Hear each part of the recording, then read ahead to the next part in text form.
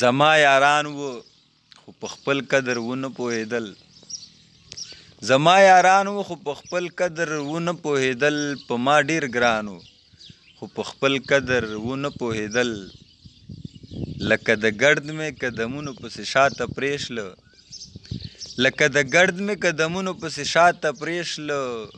یو څو کسان وو چې په خپل قدر ونه پوهېدل یو څو کسان وو چې په خپل قدر ونه پوهېدل